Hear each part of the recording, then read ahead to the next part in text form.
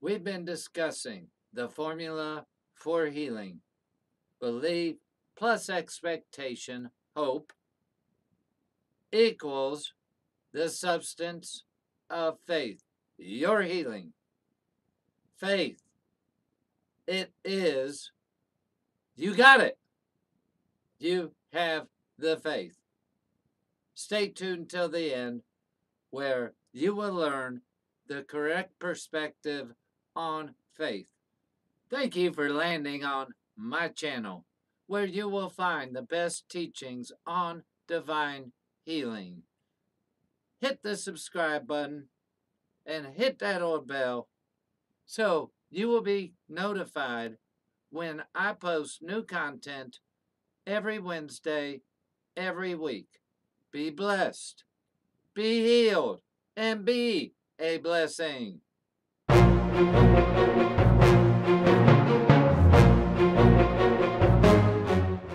wrong perspective on faith will keep us from being able to recognize our healing. This is the third part for the formula of re- recognizing your healing. Hi, I'm Tony Myers. I was healed of ALS. I've written over four books on divine healing, and I've led thousands to be able to recognize their healing. And with a few little tweaks, you are next. So here's the kicker faith. We've talked about belief, we have talked about expectation. Now, let's talk about faith. We put the cart before the apple and before the horse. We all so many people are seeking more faith.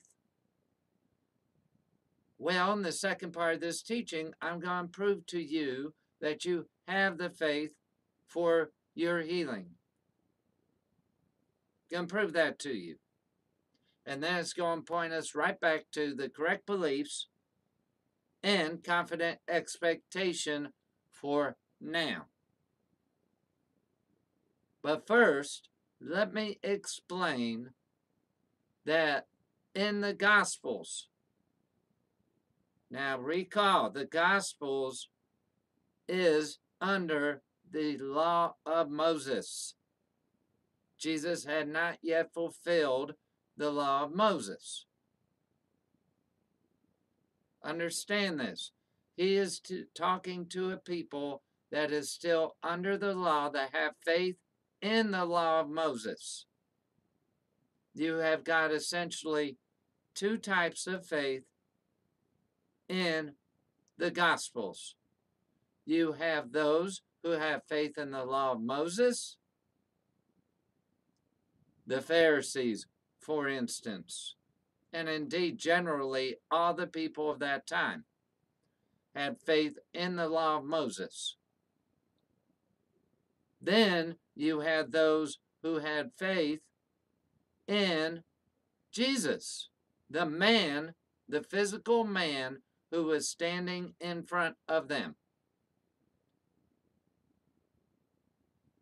Those are the two types of faith. The ones like the centurion who said, I am a man of authority. I tell this ser- servant to go fetch this, and they go do it. So you've got no need to go to my house, simply speak the word. He had faith in Jesus. And then Jesus responds, Lo, never have I seen such great faith. That is a different type of faith than what we can operate in today. Now, in today, we still do have the choice.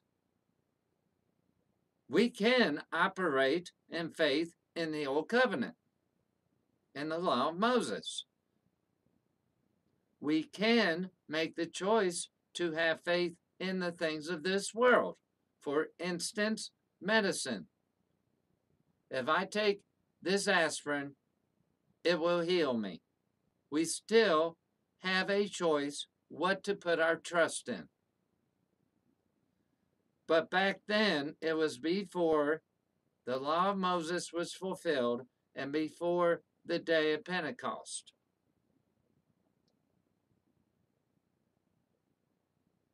So, guess what?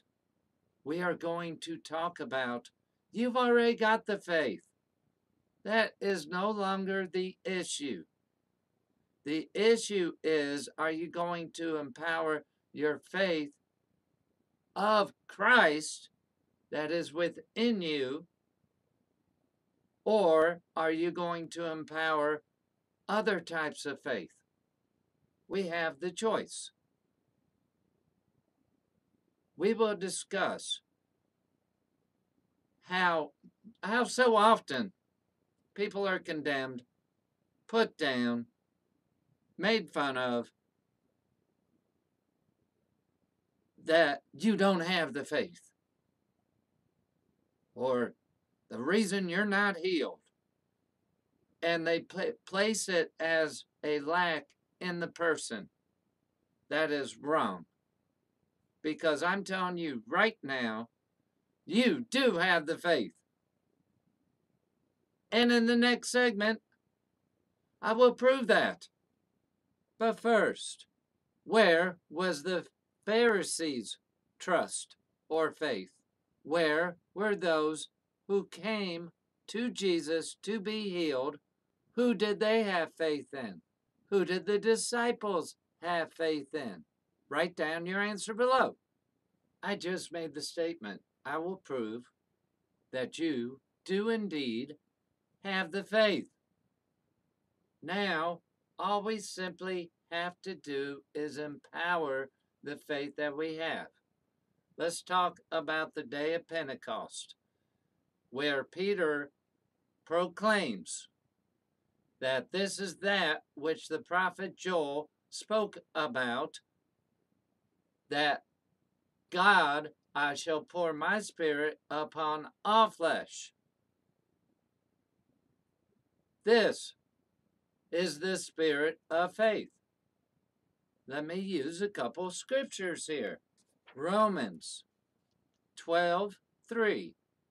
According as God hath dealt to every man the measure of faith. Second Corinthians 4 13. We having the same spirit of faith. Second Corinthians 13 5. Know ye not your own selves how that Jesus Christ is in you, except ye be reprobate. Galatians 2:16 But by the faith of Jesus Christ even we have believed on Jesus Christ that we might be justified by the faith of Christ and not by the works of the law, for by the works of the law shall no flesh be justified. So it's by the faith of Christ, and don't you know, unless ye be reprobate, you have Christ in you. So you have the faith within you you have got the faith of Christ. It is never a lack of faith. If someone doesn't get healed, it is not because of a lack. Which leads me right back to how do you empower the faith you already have? By the correct beliefs, which is what? That we have already received our healing. Once again, because we've already received the Holy Spirit who was poured out upon all flesh. So, therefore, we have our healing. And there is nothing except not believing that not taking that as an unquestionable fact that by his stripes we were healed, that is the only thing that can stop or block your healing, along with putting off. Confident expectation deferred makes the heart sick. If the heart is sick, the body is sick. So it is putting off the healing. So the correct belief plus expectation equals empowered faith. You are not lacking faith. And in fact, just like with Peter, walking on water, he cut his faith short. He had faith in the man of Jesus. Now, the way the translation reads, we think it's a lack of faith. Actually, when you dig into it, it is that Peter cut his faith short by looking at the waves. So, the bottom line is this you have the faith. Now, develop the correct belief with confident expectation, then you will be able to recognize your healing. It sounds too simple to be true, but it's not. It is the simplicity of a child. So you have the faith already. All you have to do is empower the Holy Spirit. How do you empower the Holy Spirit? By believing that He who is, is a rewarder. A rewarder, our reward, is the Holy Spirit in us, by which the Holy Spirit is giving life to our bodies. Therefore, I can recognize improvement now. There you have it. You have your healing. Thank you, Jesus. So, you have the faith. Quit trying to get more faith. Start empowering the faith of Christ that you already have. You have his faith. When Jesus was saying, if ye have faith as small as a mustard seed, once again, he was speaking before the Father and Christ poured out his Spirit upon all flesh. Before Jesus ascended into heaven so he could pour out his Spirit, when that happened, now you have the faith of Christ. You ain't got to worry about just having a little bit faith of a mustard seed the size of that. You ain't got to worry about that. You have the whole enchilada, the complete pizza pie, the total taco. You have it. Now, empower it with the right belief and with earnestly anticipating for now there is a change because you have that same spirit of faith, which is the Holy Spirit living inside of you who takes care of his temple. When we agree with him, when we empower him by the unquestionable fact. Be blessed, be healed, and be a blessing. In the description, I've included a link so that you can receive a free chapter to my book, Divine Healing DIY, where I talk more about this so that you can get this, grab a hold of it, and have your healing. If you like the teaching, click the subscription button, hit the bell so that you receive notification of new content every Wednesday. Next week, I will be declaring life over specific things. So tune in next week.